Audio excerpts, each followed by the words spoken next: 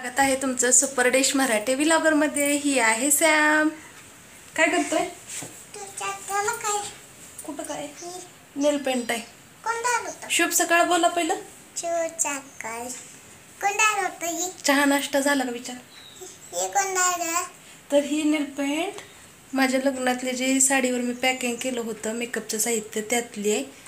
तर मला असंच ड्रेसिंग टेबलमध्ये सापडली. तर मग ती लग्नातल्या दोन तीन नेल पेंटच्या बाटल्या सापडल्या. त्यात दोन वळ सुकून गेलेल्या आणि एक थोडीशी पात्र होती ती मी एका नकाला लावली आहे आणि ती विचारते सॅम आणि त्यावेळेस तो झोपला होता. तर सकाळचे वाजलेत सव्वा नऊ. आम्ही केलं ब्लॉगला स्टार्ट. चला तर मग सुरुवात करूया. बेल्ट दाखवायचंय? त्याच्यात काय आहे दाखवायला? तर सॅमनं स्वतः बेल्ट लावलाय पहा. ओके? कुठून आणलंय ते बेल्ट आपण? ते बेल्ट कुठून आणलंय?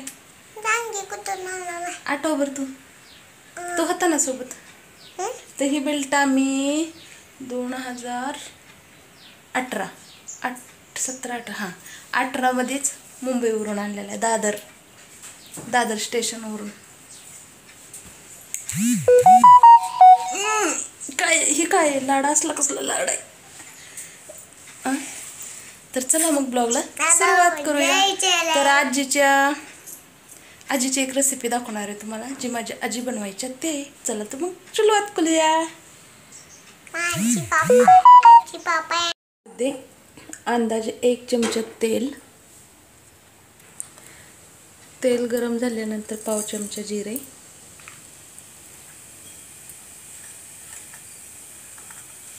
जे जिरे तळते तोपर्यंत आपण लसणाचा एक गड्डा आणि खोबरं बारीक करून घेतले ती ह्यामध्ये तळून घ्यायचं आहे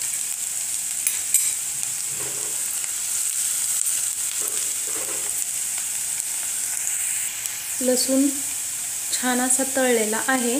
तर आता टाकूया पाणी.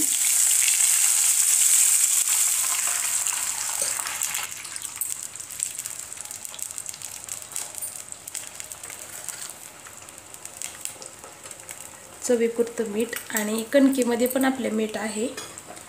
तर ही रेसिपी आहे माझ्या आजीची. तर आपल्या चपात्या करते वेळेस जे शिल्लक पीठ राहतं तर हे ठेवले मी शिल्लक पीठ. ह्या पिठापासून आपण आज रेसिपी बनवतो आहे तर सहज मला आठवण आली आजीच्या रेसिपीची म्हणून मी बनवत आहे.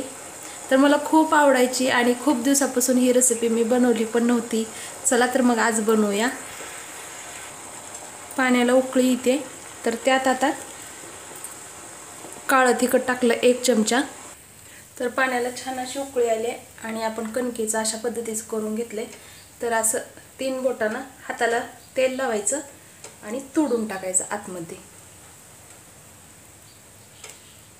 याचा आकार वगैरे काही नसतो.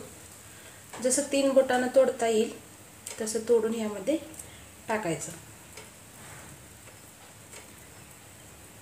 फक्त हाताला तेल लावून घ्यायचं.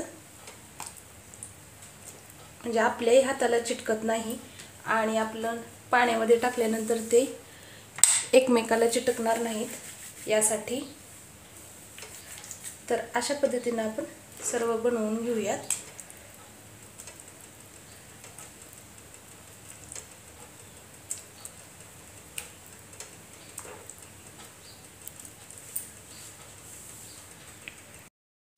तर मस्त असे शिजल्यानंतर तुम्ही पाहू शकताय. तर हे अशा पद्धतीचे तिखट फळं तयार होतात आणि यामध्ये लिंबू पिळून किंवा लोणच्यासोबत खूप छान लागतं. मी तर हे लिंबू पिळूनच खाते. आम्ही असेच खातो. तर हे तिखट आहे पण छान लागतं लिंबू टाकल्यानंतर. तर ही माझ्या आजीची रेसिपी तुम्हाला कशी वाटली? कमेंट करून सांगायला विसरू नका. त्याचे शेंग तिखट फळं कांदा कैरी चपाती आणि भात. तर आजची थाळी अशी आहे. आणि हे तिखट फळं कांदा आणि कैरी.